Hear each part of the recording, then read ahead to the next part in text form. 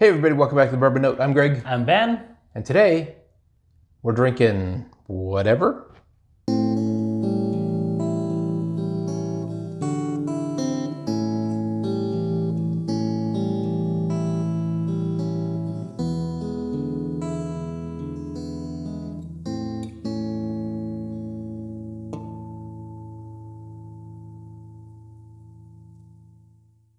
It's whatever Wednesday. Ah, this Our is our day of the week where we throw some content out there that is not bourbon oriented. you know this is a bourbon channel, right? It is, and that's why instead of doing Mondays and Thursdays when we usually release our bourbon reviews and Yeah. using them up on other whiskeys, Uh-huh. we're doing whatever Wednesday so we can explore some other stuff. Okay, so I gotta ask, what's in the box? What's in the box? It's whiskey. What's in the fing box? Ah, So we've got in the box now. Admittedly, this bottle has been drank from, but we have BAM. This is Macallan 15 Fine Oak. And I'm going to keep the box out here because it has the information. So this is a triple cask finished uh, single malt Highland Scotch. And the casks are European oak casks seasoned with sherry, American oak cask seasoned with sherry, and American oak cask seasoned with bourbon. So there we go. Delightful. It's Yeah. 86 proof. It's from the Scotland. We've Yeah, as, as evident by the fact that it's Scotch. Sure, and and they don't use the letter E when they spell whiskey. Sure. So, this bottle runs, I think, about 125 or something like that. Miles per hour. Yes, That's I did he- say runs. that's so- where he's going with. I did a rather large pour. I apologize. That's okay. You can pour as much as you want. Um, so you and I are obviously very, very bourbon forward people. Um, but- Bourbon. yes, bourbon and the channel. But we do have a couple other whiskeys on the shelf. We like to explore some other flavor profiles and stuff. true. That's why we do whatever Wednesday, Yeah. where we can explore some of those other things that we collect. So when I first started out drinking whiskey, I actually got into well, the first pour that I had where I was just like, oh, I think I could actually drink whiskey was actually a bourbon. Okay. And then I started exploring different stuff. Then I kind of like looking at Irish whiskey and then Scotch. And I think one of the reasons for that is uh, there were a lot of like I found Irish whiskey to be very easy to drink Approachable. Yep. because a lot of them are commonly lower proof, and Scotches are like that too. Like this is This an is- expensive this is Scotch, but it's 86. 86 proof. Yeah. Whereas bourbon tends to kind of be all over the board proof points. It does. And I didn't know that at the time, but I just kind of gravitated toward this, and I, I liked Scotch, and I was kind of thought I was going to be a Scotch guy at first, and then I got into bourbon, and it just took over. So, so for those of you who are bourbon people, thank you for watching.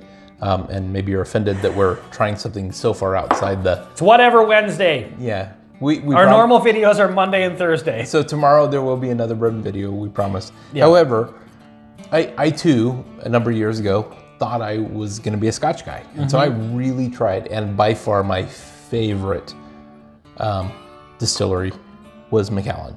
Okay. Um, I've had a few of their products. and they're freaking amazing.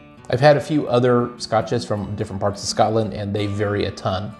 Even more the bourbon. I think the variation between scotches really, really makes a huge difference. But I don't get that aside taking Islay out of the mix because that's Yeah. a completely different ball But game. even but Johnnie Walker sometimes gets a bit. I mean, it's which great. is a blend. It is a blend. Yeah. Um, and then there's a bunch of other blends that use different. I don't know. Scotches are just interesting. It's a totally different environment. I really don't understand it very well. But Macallan, I feel, and probably a lot of people are offended by this. I feel it's kind of the standard. It's a very good. And, Sure. they, and they have a bunch of different ages, and they do some finish well, saying stuff. it's the standard is not necessarily a bad thing. Like No. it's just a standard. Well, yeah, like saying it's the standard. yeah, I don't know. You know. So Yeah. This is not the Sco- Scotch note, but Um, Right. on the nose, I get so much out of this, and it. I have a hard time saying what I get from Scotch though. Like so picking notes. what out. I'm what I'm getting from this is it's obviously um, malted barley, it's fresh apples, I always get apples and pears. I've said that in every single apple, malt we've apple ever and pear drank. because it's very bright and kind of like Bright really and fruity, crisp. and it's light. You know, used casks. There is a little bit of vanilla on top of all that. Maybe like a honeysuckle. Like there's some really interesting, bright, smooth, sweet notes. Yeah, it's very bright for sure. But but when I drink it, it's not as sweet.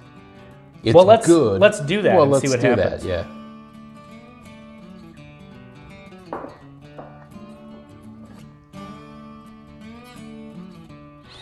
You know, I will say, compared to a lot of other um, single malts that I've had, whether it's a Scotch, mostly Scotch, but there are some American single malts Sure. and stuff like that Yeah. where it's Stranahan's is awesome. yeah, I can't call it Scotch because it's not made in Scotland, but it is the same mash bill Ish. and maybe aged similarly. I know Yeah. Stranahan's is not, but Yeah. um, I do get a little extra bite on this one. You get a little bit of that barrel. I mean, it is It's a triple, cask. Yeah, I think that helps. What I find interesting though is if you were to take a bourbon in triple cask of bourbon, I have no idea if that even exists. it does. Like, well, it- there's a Doc Swinson's. I think that one, the Alter Ego. We haven't tried that one yet, but I think that's a triple cask. that would be amazing. I think it was three casks. And well, the, look at this one. Um, the birding chair. oh, that's true. Yeah, that's a three different That's true. wine that barrel was cask. three different. Cask strength. Yeah. But I just wonder, like, like on the nose, I have a hard time distinguishing this from other scotches that I've had. And I know Scotch people are going to be, you know, but I'm not a Scotch guy. I'm a bourbon guy. So I feel like I'm a novice in this. A lot of that is exactly what you're saying. You're a novice. Like Mm. you're not an expert in Scotch to be able to break it down like you could a bourbon. Yeah. Um, and I totally agree. I same way. But I really genuinely like this. Yeah, it's good. I still have the word bourbon on my shirt, not Scotch. Mm-hmm. No offense to the Scotland, but but I like this a lot. I own a couple of Scotches, and I'll, I will always keep one or two just for Sure, occasionally yeah. you're in the mood. Yeah, I've got a couple other ones down here. Yeah. Um, but yeah, it's it's always like um, I just find with that malted barley mash bill, I kind of get very similar notes on all. Like I don't know the difference between Highland and Speyside and Campbeltown and Lowland. Yeah. Except for Like- except for Islay because it is so unique and peaty Yeah. for the most part. This is really nice though. It's good. So I, I am gonna say something negative though. Okay. I genuinely like the flavor, but I'm like I did maybe a tiny bit too big of a pour, and I'm gonna be regretting it by the time I get to the end of it. It has nothing to do with the alcohol content. It's just the flavor and the richness. By the time I get to the end of it, I'm done. Like I don't need to try a scotch again for six months. Really, that long? However, if this were a bourbon, and again, nothing to do with the alcohol and getting You could drunk. drink it all night if it was. Yeah, bourbon. like you just those are flavors that are in my wheelhouse. And you know what? That's just before you said that. That's actually what I was gonna say. Is like, I like this, but bourbon to me, just because again, I'm a bourbon guy, Yep. um, just really has it's it's like you said, it's my wheelhouse. Just like y- you, it's it's my favorite. And so, while I like this, I like this a lot, but getting a little tobacco. oh, I on thought you were like- gonna go with Tabasco. I just got a no. I'm serious. I just got a little bit of burn, and and I don't think it's like Now you've insulted Scotch yeah people. no, and I'm not getting there because I'm getting a little bit of burn on the sides of my tongue. Mm-hmm. It's not vinegary at all. So no, I don't even know if they know it in Scotland know what Tabasco is. That's an American thing. maybe. It, it's a hot sauce made with vinegar. I'm not getting that at all. Are you like- getting like a vinegar sort of No, no, no, not at all. Because I could a- actually see that on specific whiskeys. No, maybe. it's more like a oak spice on the sides of my tongue. Burn. And it's, Okay. it's light, it's 86 proof, but Um, yeah, the more like I'm, I'm letting it sit, like I'm, in just in my mouth after even not taking a sip for a minute or so, getting kind of a tobacco flavor, which Mm-hmm. What is it- nice. I like that. it actually, maybe you're right. Maybe it is like a, like you've smoked a cigar. Mm-hmm. And so like the, there's a little bit of like heaviness or feeling, like the Yeah. smoke. Not that this is a smoky Not- scotch. It's not a smoky scotch, but it just has a really interesting character to it. Mm-hmm. And I think it, I blame it on the malted barley, which is an interesting grain. Because that's all that's in it. It, that is, well, and water. Well, right, yeah. And love. yes. But yeah, I just, I, I don't know. I find, I like this a lot, but I don't want it anymore. You know what I mean? yeah, you don't want this every day like you want a bourbon every day. exactly. Yeah. And then some people have that with bourbon, where they're like, bourbon and- is just too aggressive. And again, there are people and- in Scotland. Thank you for watching. who would take this 10 times out of 10 and not want Well, there are people in America too that will well, do that. you yeah, know? that's fair. But yeah, it, it's just so I it's just my personal preference. Here's, all right. So I'm gonna say this, and this is gonna be the one insult that I'm gonna say. It's okay. So, and again, this is coming from a, a bourbon forward person. This is a 15 year aged, triple cask aged whiskey. I feel like there should be a lot more going on here than there is. And $120. At $120. I feel like there should be a lot more going on here than there is. Like, I feel like you can take a five year bourbon, double oak it, and charge $50 for it, and really have more of a bold flavor profile, which again, that may not be what you're looking for if you're a. Which one? Uh, empty glass. Oh, what are we drinking? So I I should probably consult with you, you can. but there's Or a, anything you want. There is a bourbon behind me Okay. that I know that you're not the biggest fan of. Okay. I'm not the biggest fan of. It's pot stilled. Is it Johnny Drum? It is. Okay. but I'm curious what the least favorite bourbon that I can think of at the moment, what we think of that compared to This I is mean- another fun part of whatever Wednesday is just exactly. we can like- go for a, a half an hour on this nonsense and, and I just and I totally acknowledge I'm insulting the entirety of the amazing country of Scotland. This is not the right lid. Well, are you gonna need some more of that? A little bit. If anybody's still following which lid goes to which bottle at this point, it's like one of those games with the cork and the. Well, this one's a screw top, so that helps. But now I don't know which one I have is in which glass. Uh, you should be able to tell the difference. yeah, it's just night and day. I'm fairly certain there has never been a Macallan 15 year versus Johnny Drum. Uh, which You saw it here first on the bourbon note. My Johnny Drum is on the left. okay. You can tell in the color on which one's which. So I've been sipping on this with no water. I'm gonna go to this, This is a Johnny. the Johnny Drum. Drum. So, side note, neither one of us are in love with this bourbon. It is very bourbony, but it's kind of probably Big red gum, a little bit. nice enveloping caramel. Mm-hmm. It does have that mustiness that we don't like off of some not- Willet I'm products. getting that, and I think maybe the Macallan Having the is, scotch beforehand. On the nose, I think, to be honest, I absolutely love the Macallan nose.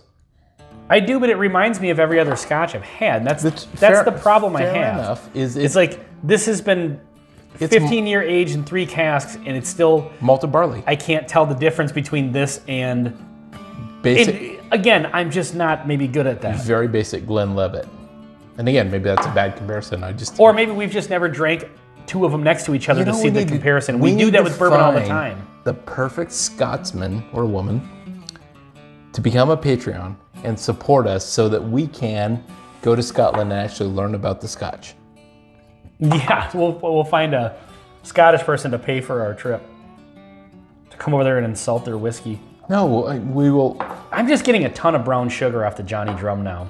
In comparison, it's almost like. I- We don't I want an international incident. Even say this. This does make the Johnny Drum better than it normally is. I will admit. Okay, you know when you've been traveling overseas Yeah. um, and you just miss certain things from home, Yes. like even if it's the most basic thing. McDonald's is a really good example. Yeah, and I love Mc- McDonald's, McDonald's anytime. everywhere. But even say, like say something that you're not the biggest fan of, whatever it may be. sure. But as soon as you get home, it's like it's home. It reminds me of home. You know, even if it's a, a fast food chain you don't particularly like or wouldn't uh-huh. particularly go to every time, but you you land back in America and there's one of them at the airport and you're hungry and you go eat it and you're like, it tastes like I'm back home. I loved everything I had when I was overseas, but when there's something about coming home to your own normal. That's what this feels like. This feels just like a Home. yeah. And so like you said, we're not the biggest Johnny Drum fans, but it tastes pretty damn good right now. I got to tell you.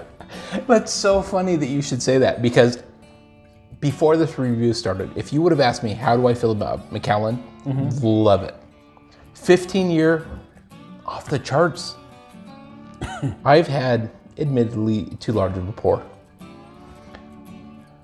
But I don't want any more.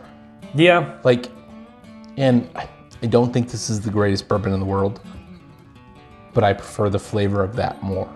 Do you find that Scotch is one of those things that's good, but it wears out its welcome? Is that what you're kind of getting at? With like, you have a nice pour of it, but then you just you don't want any more of it. Like it's not something.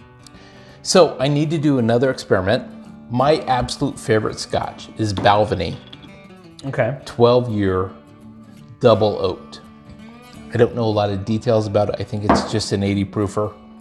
You normally spill that one. In fact, you do a high pour, like from space kind of light pour of that one. That's typically how you I work. did do that once. Um, but yeah, so I, Balvenie, I need to compare. I need to pick another bottle and do a comparison of this versus the Balvenie because I genuinely love that one. But maybe I like Johnny Drum, no offense, but it's probably my least favorite bourbon, more even than Balvenie. Which, I mean, that's not really a surprise. We have a bourbon channel, not a scotch channel. Mm-hmm. You know, I think we would do very poorly with the scotch note. Well, and here's the thing: it's it's inexperience. That's Well, really all it is, I and it's not meant to be an insult agree. at all. It's Yeah, inexperience. I absolutely agree. I'm sure people that are totally into Scotch would drink bourbon and just it maybe like, oh god, it's just it's too aggressive. Yep. It's too totally agree. dark. The charred oak is too much, and you know. So, I think we both know where this is going. Well, I mean, yeah, I mean, We have we have two in front of us. this is where it really piss Scotch drinkers off. unfortunately, I took a drink and I no longer have enough to do the Benny Yeah. Walker special. Here, throw some more in there. Oh, this is a vile and inappropriate. Don't, you can't drink it till I at least. I get won't. some. So, So now we're mixing Johnny Drum and Macallan 15 so triple Scotch cask. watch, uh, Scotch viewers Mm-hmm. from the Scotland. At the end of videos, I think more people from America that drink Scotch hope- are probably going to watch this. Well, Hopefully. Um, ben likes to pour, and I've only recently started this. He likes to mix whatever the two things that we're doing. As if we're comparing two of them, when, when there's this much left, you pour them together. And You know, this could be really good, and here's why. We've had a couple of four mash bill bourbons recently, Mm-hmm. which essentially we just made. Or at least we increased like the four grain? Yeah, four. Sorry, No, because this has this is but rye, corn, malted barley, and this is malted barley. but we really increased the malted barley. oh yeah, yeah. We added a lot of malted barley. Yeah. And this is and it has a nice nose to it. I'm well, this gonna is malted barley, and this is malted barley. They're different. You know what I mean? Yeah. Like so. Yeah, this is just for enzymes to break down Exactly. Yeah. the starches and make sugars and. So I'm really hoping for brown sugar from this one, which typically delivers. And I still struggle to find the words to describe what malted barley tastes like when it's just a single malt. For me, it's apples and pears and fruit juice I and floral which and is kind of good, and I like like crisp, those light flavors. fruit. I like those So- flavors. Go in for the nose on this, and this we might be actually proving the point we've been making this entire time. This was a 50-50 blend, Yep, I was close-ish. I- and I'm getting mostly bourbon out of this. You know what? Speaking of mostly bourbon, that's my uh, Instagram It handle. is, yeah, and he's pretty good at that too. Check him out. You know, caramel flavored apples are freaking amazing. Let's just stop with that. Ooh. All right, let's go in for the taste. You may have just insulted both Scotland and the United States and created the world's greatest liquor.